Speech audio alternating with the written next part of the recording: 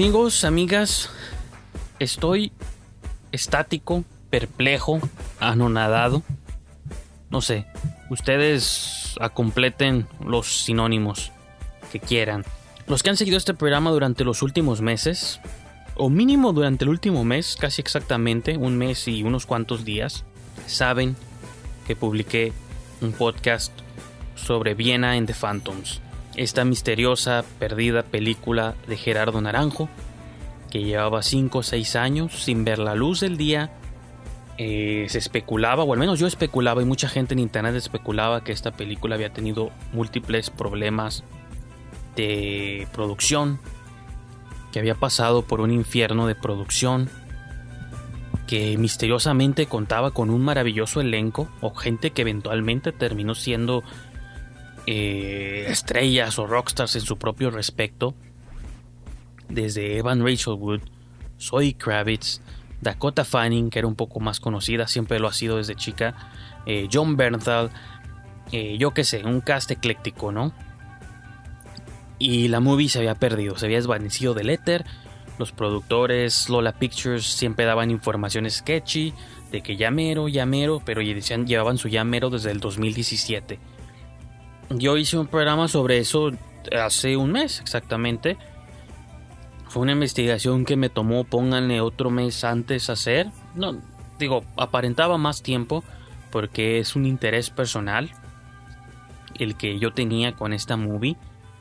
Pero realmente eh, en recopilar la información y qué se decía y qué se sabía, cuál era el chisme más reciente y qué estaba pasando con el director, por qué había renunciado o lo habían renunciado, entre comillas.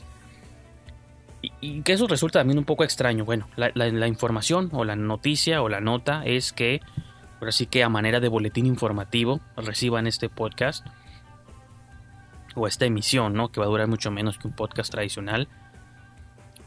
Es que hoy estuve alejado casi todo el día, ¿no? Del, no del internet, pero de noticias de cine. A veces las consulto, en una base regular las consulto el día de hoy me la he pasado como enfrascado en edición y en producción y en planeación y en otras colaboraciones y cosas nuevas que vienen tanto para este canal como para otros otros canales en los que voy a estar colaborando, ¿no? Pero bueno, esa es información para otro día.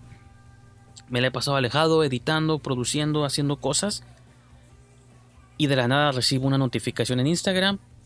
Y los mismos Lola Pictures, estos misteriosos productores de Viena en The Phantoms, me taguean un link de YouTube, ¿no? Simplemente, sin información ni nada, y me lo, me lo pegan en el post que yo hice sobre Vienen de Phantoms. Publiqué mi podcast, repito, hace un mes, lo pueden escuchar aquí en este feed, es el número 311. Búsquenlo en Spotify, Apple, YouTube, donde gusten. Entonces, en ese post me publicaron un link de YouTube. Está, es difícil abrirlo en el teléfono, de hecho es como de lo malo de Instagram, que no puedes abrir links.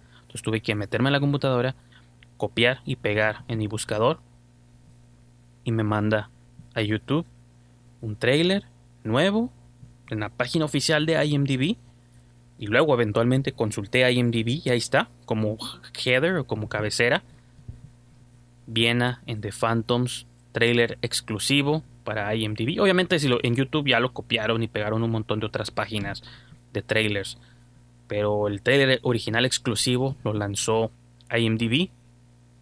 Igual lo vamos a escuchar ahorita. De entrada, la diferencia en sonido, en música, en todo al trailer original que les pegué en aquel viejo programa que pueden escuchar de hace un mes. Nada que ver. Aquí ya se entienden los diálogos, ya, ya, ya escuchas a los actores hablar, ya más o menos tienes nociones de qué es lo que está pasando entonces, ¿qué les parece si escuchamos el trailer completo? Es mejor que lo busquen para que lo vean, pero como este es un programa de audio, aquí también lo vamos a escuchar para que lo oigan. Entonces vamos a escucharlo y regresamos. How you made this? Well, some girl gave that to me to give to them, and then they canceled the show. You know, I know somebody that tours with them. With the Phantoms. I could give it to him. Name's Vienna. She's helping us out. That's not your real name, though. You guys just keep multiplying. You with them? What? You're with the band too, right? Uh, yeah. How do you get accepted? You're invited. Every time I see you, I just get pulled in by this, this thing you have. I don't think you should get mixed with him. You understand? You know, we're almost broke, right? Yeah, I heard some Monroe guy has all your money. Things are gonna change around here. Yeah, you can bet on it. We have to behave like a band. How are we supposed to travel 2,500 miles in four days? I say we talk to Monroe. Yeah, I'm not a wolf. I'm not a big bad wolf.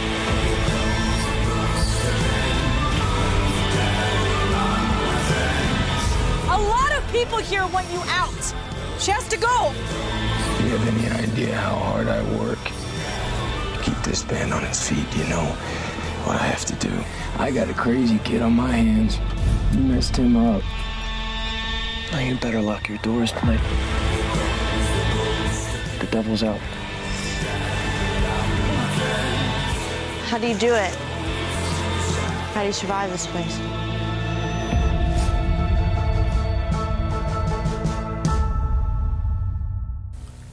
Dos cosas muy importantes con este tráiler. Primero que nada, digo, repito, necesitan verlo. Es que abre con el logo de Universal Pictures.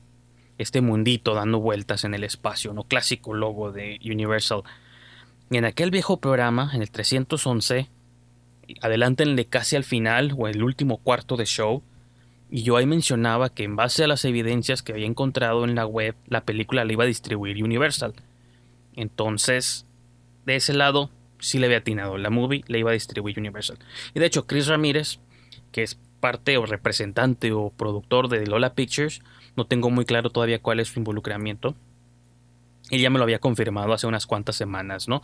Me escribió la película, está próxima a estrenarse eh, de parte de Universal. Y eso me da a entender que algunos no creo que escucharon el programa, porque no tendría razón por qué especificarme de que la movie le iba a sacar Universal. Pues es una cosa que no, dices casualmente, ¿no? Simplemente dices, ah, la movie va a salir y ya. Pero como eso me da a entender de que alguno escuchaba en el programa, ¿no? Y todavía más razón para entender de por qué creo que escucharon el programa es que porque me postearon el link al trailer. Entonces yo les he mandado mensajes, tanto públicos como privados, de que me gustaría hablar con alguien de Lola Pictures, una entrevista, una conversación, eh, yo qué sé. Hasta la fecha no he recibido respuesta y yo sé que nunca la voy a obtener porque pues este es todo el drama que hubo detrás de esta movie. Entre más menos se sepa y más se entierre, mucho más cómodos van a estar todos. Y bueno, y, y otro detalle de este trailer nuevo que pueden ver ya en internet es que sigue acreditado Gerardo Naranjo como director.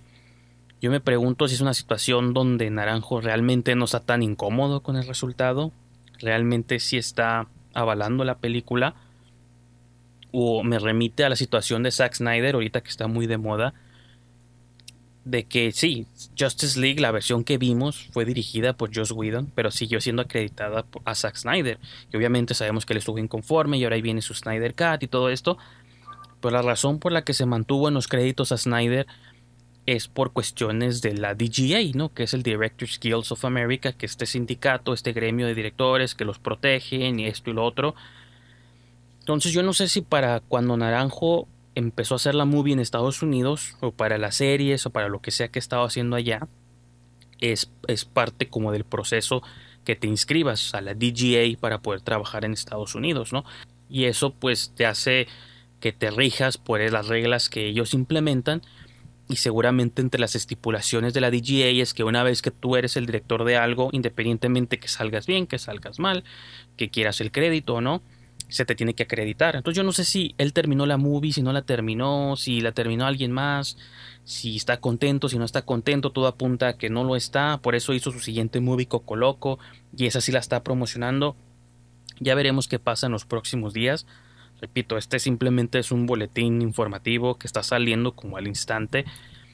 Estén seguros que conforme avance esta noticia, esta información, yo aquí les voy a estar actualizando.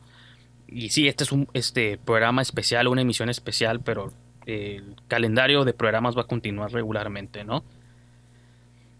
Y la otra cosa, yo creo que eran, dije dos puntos, pero creo que realmente son tres puntos, es que al final del, del trailer viene que se estrena el 30 de julio, de perdón, de junio. Y sí, eh, ya me habían comentado eso, tanto Chris Ramírez me puso en junio, ahí viene. Y ahora lo ves el trailer y lo ves en todos los encabezados y ya lo están agarrando como más sitios de internet, ya lo están republicando y todos ya están anunciando la gran fecha, 30 del martes, 30 de junio, Viena en The Phantom se estrena directo a video en VOD. Y pues, no sé, de algún modo está curioso que sea un mes o dos meses después de que publiqué mi programa, porque no sé si me conecté yo una energía que sabía que ya venía la película, porque el programa lo pude haber hecho hace un año, hace dos años, pero en el sentido de que se me hace como muy curioso porque siento que de algún modo se pierde cierta magia, cierto misticismo que yo estaba queriendo como eh, canalizar con este show, pero al mismo tiempo cuando lo hice todo el tiempo tenía la intención de poner como las vibras, me voy a sonar medio hippie, medio new agey, pero me da igual. Quería poner como estas vibras o esta energía ahí afuera de decir, ya que salga esta película, ¿no? Entonces es como una Navidad adelantada, o este, un regalo de cumpleaños adelantado, el hecho de que la movie finalmente vaya a salir el 30 de junio, pues en digital, y todo el mundo la vamos a ver, y estén seguros que aquí en el show la voy a reseñar. Incluso estoy pensando quizás hacer un comentario de audio, un audio commentary, todavía no estoy seguro, ustedes ahí escriban o comenten o voten si es algo que les interesaría que, que hiciera, pero mínimo una reseña completa de principio a fin, aquí la vamos a estar haciendo. Y incluso como lo mencionaba hace unos cuantos segundos o minutos, también veré cuál es la respuesta de Naranjo, si es que saca alguna, y o de los productores, o de qué otra información se cuela por ahí alrededor sobre el lanzamiento de la película. Eso me interesa bastante. Entonces, eso era todo lo que quería comentar en esta breve emisión. Gracias por picarle, por darle play y por acompañarme, por seguirme acompañando en esta odisea de Viena en The Phantoms. Y espero pues, que ahora ustedes también estén sumergidos en ese rollo. Si quieren saber más sobre esta misteriosa movie, repito, visiten mi. No es promoción, pero tengo que promocionarlo, ¿no? Visiten el episodio 311. Lo pueden encontrar en, en cualquiera de mis feeds, tanto en YouTube, en Twitter, digo, bueno, en Twitter también, ¿no? Pero en YouTube, en Spotify, en Apple, donde quiera. Y pues nomás, como que de algún modo siento que se cierra un ciclo, o empieza a cerrarse el ciclo de Viena y digo, hasta que no veamos la película y la comentemos, creo que ya se cierra por completo el ciclo.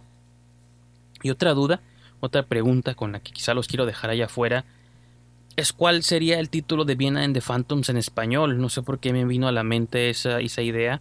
¿Cómo se va a llamar en México? También Viena y los fantasmas. O los fantasmas y Viena. O una loca película sobre fantasmas.